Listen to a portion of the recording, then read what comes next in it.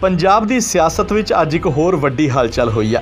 5 ਸਾਲਾਂ ਤੋਂ ਸਿਆਸਤ ਤੋਂ ਪਰੇ ਰਹੇ ਅਤੇ ਆਮ ਆਦਮੀ ਪਾਰਟੀ ਚੋਂ ਬਾਹਰ ਹੋਏ ਸੁੱਚਾ ਸਿੰਘ ਛੋਟੇਪੁਰ ਅੱਜ ਅਕਾਲੀ ਦਲ ਦਾ ਪੱਲਾ ਫੜ ਚੁੱਕੇ ਨੇ।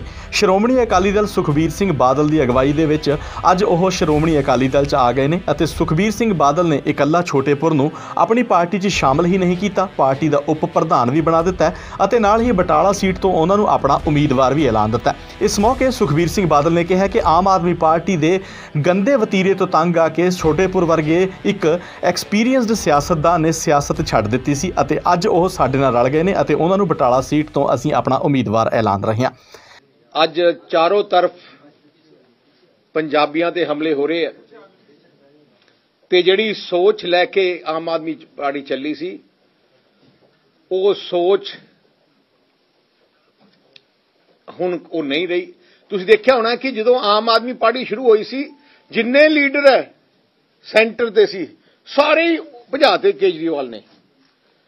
ਡਿਕਟੇਟਰਸ਼ਿਪ ਕਰਕੇ ਉਹ ਕਹਿੰਦਾ ਜਾਂ ਮੈਨੂੰ ਮੰਨੋ ਜਾਂ ਦਰਵਾਜ਼ਾ ਦੇਖੋ।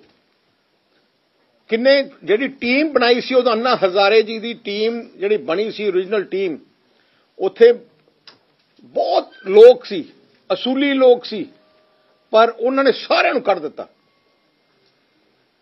ਤੇ ਅੱਜ, ਸੋ ਮੈਂ ਅ, ਸੁੱਚਾ ਸਿੰਘ ਛੋਟੇਪੁਰ ਜੀ ਨੂੰ ਜੀ ਆਇਆਂ ਕਹਿੰਦਾ ਪੁਰਾਣੇ ਟਕਸਾਲੀ ਅਕਾਲੀ ਮੈਂ ਕਹਿ ਸਕਦਾ ਮੇਥੋਂ ਵੀ ਪਹਿਲੇ ਦੇ। ਸੋ ਇਸ ਕਰਕੇ ਸਾਨੂੰ ਮਾਝੇ 'ਚ ਤਾਂ ਬਹੁਤ ਬਲ ਮਿਲਿਆ ਹੀ ਮਿਲਿਆ ਪਰ ਪੂਰੇ ਪੰਜਾਬ 'ਚ ਤੁਸੀਂ ਦੇਖਿਆ ਹੋਣਾ ਪਿੱਛੇ ਸਾਰੀ ਟੀਮ ਆਮ ਆਦਮੀ ਪਾਰਟੀ ਦੇ ਦੋਨੋਂ ਸਾਈਡ ਦੇਖ ਲਓ ਜਿੰਨੇ ਇਹਨਾਂ ਦੇ ਪ੍ਰੋਮਿਨੈਂਟ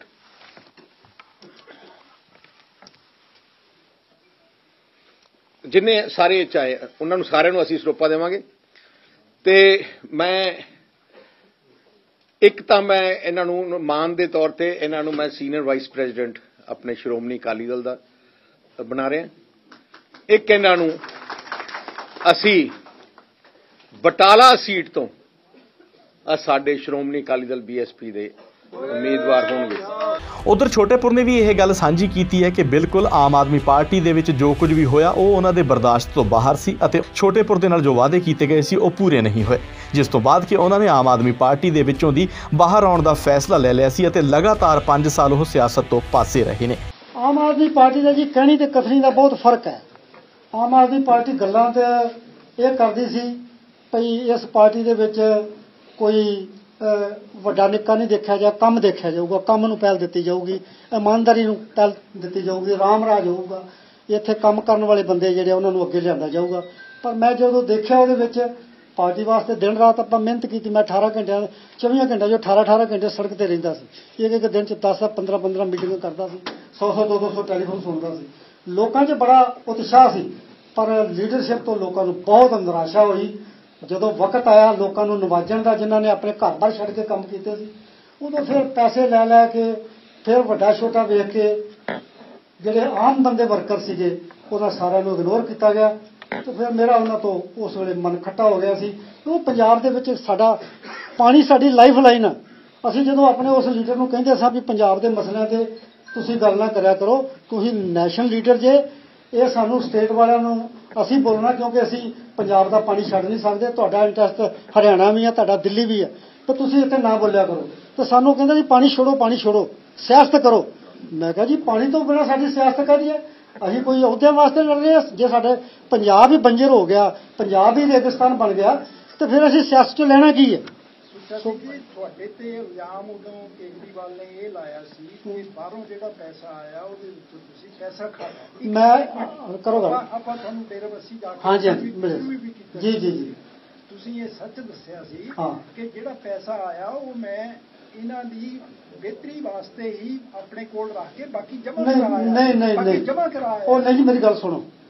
ਮੈਂ ਤਾਂ ਕਸਮ ਖਾਨਾ ਕਿ ਮੈਂ ਬਾਹਰ ਦਾ ਪੈਸਾ ਹਾਲ ਤੱਕ ਵੇਖਿਆ ਨਹੀਂ ਵੀ ਡਾਲਰ ਪਾਉਂਡ ਹੁੰਦਾ ਕਿਹੋ ਜਿਹਾ ਵਾ। ਤੁਸੀਂ ਕਹਿੰਦੇ ਮੇਰੇ ਕੋਲ ਆਇਆ ਮੇਰਾ ਤੇ ਇੱਥੇ ਅਕਾਊਂਟ ਹੀ ਕੋਈ ਨਹੀਂ ਸੀ ਪੰਜਾਬ 'ਚ। ਮੈਂ ਪਾਰਟੀ ਦਾ ਪ੍ਰਧਾਨ ਸਾਂ ਪਰ ਪੰਜਾਬ 'ਚ ਆਮ ਆਦਮੀ ਪਾਰਟੀ ਦਾ ਕੋਈ ਅਕਾਊਂਟ ਨਹੀਂ ਸੀ। ਕਿੱਥੇ ਸੀ ਅਕਾਊਂਟ ਸਾਰੇ ਦਿੱਲੀ ਸੀਗੇ। ਜਿੰਨਾ ਪੈਸਾ ਬਾਹਰੋਂ ਆਇਆ ਉਹ ਦਿੱਲੀ ਗਿਆ ਸਿੱਧਾ। ਮੈਂ ਤਾਂ ਬਾਹਰ ਗਿਆ ਹੀ ਨਹੀਂ। ਮੈਂ ਬਾਹਰ ਉਸ ਟਨਿਓਰ ਦੇ ਵਿੱਚ ਕਿਸੇ ਮੁਲਕ 'ਚ ਨਹੀਂ ਗਿਆ। ਨਾ ਮੇਰੇ ਕੋਲ ਪੈਸਾ ਆਇਆ। ਇੱਥੇ ਜਿਹੜਾ ਫੰਡ ਰੇਜ਼ਿੰਗ ਹੋਇਆ ਸੀ ਉਹਨੇ ਉਹ ਵੀ ਲੈ ਜਾਓ। ਉਹਨੇ ਇਲਜ਼ਾਮ ਇਹ ਲਾਇਆ ਸੀ ਕਿ ਜਿਹੜਾ ਬਾਹਰੋਂ ਪੈਸਾ ਆਇਆ ਉਹਦੇ ਵਿੱਚੋਂ ਸੁੱਚਾ ਸਿੰਘ ਆਇਆ ਹੀ ਨਹੀਂ। ਮੇਰੇ ਇੱਥੇ ਤਾਂ ਆਇਆ ਹੀ ਨਹੀਂ। ਪੰਜਾਬ 'ਚ ਤਾਂ ਪੈਸਾ ਹੀ ਨਹੀਂ ਆਇਆ ਉਹ। ਸਿੱਧਾ ਦਿੱਲੀ ਚਲਾ ਗਿਆ। ਡਿਮਾਂਡ ਕਰਾਂਗੇ ਕਿ ਈਡੀ ਨੂੰ ਇਹਦੀ ਇਨਵੈਸਟੀਗੇਟ ਕਰਨਾ। ਬਿਲਕੁਲ ਕਰਨੀ ਚਾਹੀਦੀ ਹੈ ਜੀ ਬਿਲਕੁਲ ਕਰਨੀ ਚਾਹੀਦੀ ਹੈ। ਮੈਂ ਤਾਂ ਪੰਜਾਬ ਦੇ ਲੋਕਾਂ ਕੋਲ ਰੁਪਈਆ ਰੁਪਈਆ ਇਕੱਠਾ ਕਰਕੇ 25 30 ਲੱਖ ਰੁਪਈਆ ਕੈਸ਼ ਦੇ ਕੇ ਆਇਆ ਸੀ ਉਹਨੂੰ। ਮੈਨੂੰ ਕੋਈ ਰਸੀਦ ਨਹੀਂ ਉਹਦੀ ਦਿੱਤੀ ਉਹਨੇ। ਨਹੀਂ ਤਾਂ ਮੈਂ ਪਾਰਟੀਆਂ 'ਚ ਜਦੋਂ ਕੰਮ ਕਰਦਾ ਅਕਾਲੀ ਦਲ 'ਚ ਅਸੀਂ ਪੈਸੇ ਜਮ੍ਹਾਂ ਕਰਾਉਂਦੇ ਰਹੇ ਹਾਂ। 40% ਅਕਾਲੀ ਦਲ ਰੱਖਦਾ ਮੇਰਾ 60% ਜ਼ਿਲ੍ਹਿਆਂ ਨੂੰ ਦੇ ਦਿੰਦਾ ਸੀ ਸਰਕਲਾਂ ਨੂੰ ਦੇ ਦਿੰਦਾ ਸੀ ਤੇ ਥੱਲੇ ਵੀ ਕੰਮ ਕਰਨਾ ਸਿਰਾ ਉੱਪਰਲੀ ਪਾਰਟੀ ਨਹੀਂ ਚਲਾਉਣੀ ਥੱਲੇ ਕੰਮ ਤਾਂ ਵਰਕਰਾਂ ਨੇ ਕਰਨਾ। ਇਹਨੇ ਦਵਾਨੀ ਕਿਸੇ ਨੂੰ ਨਹੀਂ ਦਿੱਤੀ। ਪੰਜਾਬ ਦੇ ਵਿੱਚ ਹਾਂਜੀ? ਦੇ ਦੇ ਰਹੇ ਯਾਰ ਗਰੰਟੀਆਂ ਤਾਂ ਦਿੰਦੇ ਹੁੰਦੇ ਆ ਵੀ ਇਹ ਕੱਪੜਾ ਬੜਾ ਚੰਗਾ ਸਾਲ ਬਾਅਦ ਘਟਣਾ ਹੈ। ਆ ਜੁੱਤੀ ਬੜੀ ਚੰਗੀ ਆ ਇਹ 2 ਸਾਲ ਬਾਅਦ ਟੁੱਟਣੀ ਆ। ਇਹ ਇਹਦੀਆਂ ਗਰੰਟੀਆਂ ਕਾਹਦੀਆਂ? ਗਰੰਟੀਆਂ ਤੋਂ ਤੇ ਐਮਐਲਏ ਕੋਈ ਨਹੀਂ ਰਿਹਾ। ਕਿਸੇ ਐਮਐਲਏ ਤੋਂ ਨੇ ਇਤਬਾਰ ਨਹੀਂ ਕੀਤਾ। 20 ਐਮਐਲਏ ਸੀ ਅੱਜ 9 ਰਹਿ ਗਏ ਆ। ਕਾਹਦੀ ਗਰੰਟੀ ਦਿੰਦਾ? ਉਹ ਤਾਂ ਵੱਧ ਤੋਂ ਵੱਧ ਗੱਲਾਂ ਕਰਕੇ ਪੰਜਾਬ ਦੇ ਲੋਕਾਂ ਨੂੰ ਵਰਗ ਲਾਉਂਦਾ ਆਪਣੇ ਪਿੱਛੇ ਲਾ ਕੇ ਗਮਰਾਹ ਕਰਕੇ ਵੋਟਾਂ ਲੈਣਾ ਚਾਹੁੰਦਾ ਇਸ ਤਰ੍ਹਾਂ ਪੰਜਾਬ ਦੇ ਲੋਕ। ਆਪਦੇ ਆਪ ਨੂੰ ਦੇਖਦਾ ਸੀਐਮ ਦਾ ਚਿਹਰਾ। ਕੇਵਲ ਤੇ ਕੇਵਲ ਉਹਨੂੰ ਆਪਣੇ ਤੋਂ ਗਾਂ ਦਿਸਦਾ ਹੀ ਕੱਖ ਨਹੀਂ। ਹੁਣ ਭਗਵੰਤ ਨੂੰ ਲਾਗੇ ਭਾਲ ਕੇ ਕਹਿੰਦਾ ਵੀ ਮੈਂ ਸਾਫ਼ ਚਿਹਰਾ ਲੱਭ ਰਿਹਾ ਉਹਦੇ ਮਨ ਤੇ ਕੀ ਗੁਜ਼ਰਦੀ ਹੋਊਗੀ? ਉਹਨੂੰ ਕਿਸੇ ਵੇਖੋ ਨਾ ਸੁਖਪਾਲ ਖਹਿਰ ਆਇਆ ਉਹ ਉਹਨੂੰ ਚੰਗਾ ਨਹੀਂ ਲੱਗਦਾ। ਘੁੱਗੀ ਆਇਆ ਉਹ ਉਹਨੂੰ ਨਹੀਂ ਚੰਗਾ ਲੱਗਦਾ। ਅਸੀਂ ਆਏ ਅਸੀਂ ਨਹੀਂ ਚੰਗਾ ਲੱਗਦੇ। ਜੋਗਿੰਦਰ ਯਾਦਵ ਨਹੀਂ ਚੰਗਾ ਲੱਗਦਾ ਗਾਂਧੀ ਨਹੀਂ ਚੰਗਾ ਲੱਗਦਾ ਖਾਲਸਾ ਨਹੀਂ ਚੰਗਾ ਲੱਗਦਾ। ਫਿਰ ਉਹਨੂੰ ਚੰਗਾ ਕਿਹੜਾ ਲੱਗਦਾ? ਉਹ ਤਾਂ ਚਾਹੁੰਦਾ ਵੀ ਮੈਨੂੰ ਗੂਠਾ ਮਾਰ ਬੰਦਾ ਚਾਹੀਦਾ। ਜਿਹੜਾ ਜੇ ਮੈਂ ਕਹੀ ਜਾਂ ਵੀ ਦੇਣਾ ਤਾਂ ਦੇਣਾ ਰਾਤ ਆ ਤਾਂ ਰਾਤ। ਇਹ ਕੋਈ ਜ਼ਮੀਨ ਵਾਲਾ ਬੰਦਾ ਕਰ ਸਕਦਾ? ਮੇਰੇ ਵਰਗਾ ਬੰਦਾ ਨਾਲ ਮੈਂ ਤਾਂ ਤੁਹਾਡੇ ਸਾਹਮਣੇ ਕਿਹਾ ਸੀ ਵੀ ਮੈਂ ਜ਼ਿੰਦਗੀ 'ਚ ਜ਼ਿੰਦਗੀ 'ਚ ਕਿਸੇ ਪੋਲੀਟੀਕਲ ਪਾਰਟੀ ਕੋਲੋਂ ਜਿਸ ਪਾਰਟੀ 'ਚ ਮੈਂ ਕੰਮ ਕਰਦਾ ਜੇ ਦੂਜੀ ਪਾਰਟੀ ਕੋਈ ਦੀਵਾਨੀ ਵੀ ਲਈ ਹੋਵੇ ਤਾਂ ਮੇਰਾ ਕੱਖ ਨਾ ਰਹੇ। ਜੇ ਨਹੀਂ ਤੇ ਜਿਹੜੇ ਝੂਠੇ ਇਲਜ਼ਾਮ ਲਾਉਂਦੇ ਗੁਰੂ ਰਾਮਦਾਸ ਉਹਨਾਂ ਦਾ ਕੱਖ ਨਾ ਰਹਿਣ ਦੀ। ਤੇ ਗੁਰੂ ਰਾਮਦਾਸ ਨੇ ਰਹਿਣ ਨਹੀਂ ਕੱਖ ਦਿੱਤਾ। ਛੋਟੇ ਪੁੱਜੀ ਉਹਨਾਂ ਨੇ ਦਿੱਲੀ ਦੇ ਦਿੱਲੀ ਦੇ ਆਗੂ ਜਿਹੜੇ ਵੱਡੇ ਆਏ ਉਹਨਾਂ ਨੇ ਪਿਛਲੀ ਇਲੈਕਸ਼ਨ ਦੇ ਵਿੱਚ ਟਿਕਟਾਂ ਲੈ ਕੇ ਉਹਨਾਂ ਦੇ ਦੋਸ਼ ਲੱਗੇ ਵੀ ਪੈਸੇ ਲੈ ਕੇ ਟਿਕਟਾਂ ਦਿੱਤੀਆਂ। ਹੂੰ। ਤੇ ਔਰ ਉਹਨਾਂ ਨੇ ਹੋਟਲਾਂ ਦੇ ਵਿੱਚ ਪੰਜਾਬ ਨੂੰ ਹਰ ਤਰ੍ਹਾਂ ਲੁੱਟਿਆ। ਬਿਲਕੁਲ। ਤੇ ਉਹ ਤੁਸੀਂ ਚੋਣਾਂ ਦੇ ਦੌਰਾਨ ਖੁਲਾਸੇ ਕਰੋਗੇ? ਬਿਲਕੁਲ ਕਰਾਂਗੇ ਜੀ। ਮੈਂ ਤਾਂ ਪਹਿਲਾਂ ਵੀ ਖੁਲਾਸੇ ਕੀਤੇ ਆ ਜਿੰਨੀ ਪ੍ਰੈਸ ਸਾਰੇ ਬੈਠੇ ਹੋ। ਮੇਰਾ ਖਿਆਲ ਆਪਾਂ ਕਈ ਵਾਰੀ ਫੇਸ ਟੂ ਫੇਸ ਹੋਏ ਆ। ਸਾਰੀਆਂ ਗੱਲਾਂ ਪਹਿਲਾਂ ਵੀ ਕੀਤੀਆਂ। ਰਾਘਵ ਚੱਡਾ ਕਾਫੀ ਐਕਟਿਵ ਹੋਇਆ ਹੋਇਆ। ਲੱਗ ਰਿਹਾ ਕਿ ਉਹ ਸੀਐਮ ਬਣਨਾ ਚਾਹੁੰਦਾ। ਜਦੋਂ ਚੀਮਾ ਤੇ ਭਗਵੰਤ ਲਾਗੇ ਭਾਲੇ ਹੁੰਦੇ ਆ ਤੇ ਇੱਕ ਦਿੱਲੀ ਦਾ ਐਮਐਲਏ ਜਿਹੜਾ ਉਹ ਪ੍ਰੈਸ ਕਾਨਫਰੰਸ ਕਰ ਰਿਹਾ ਹੁੰਦਾ ਤੇ ਬੜੀ ਸ਼ਰਮ ਆਉਂਦੀ ਆ ਵੀ ਪੰਜਾਬ ਨੂੰ ਕੀ ਸਮਝਦੇ ਆ ਬਾਹਰ ਵਾਲੇ।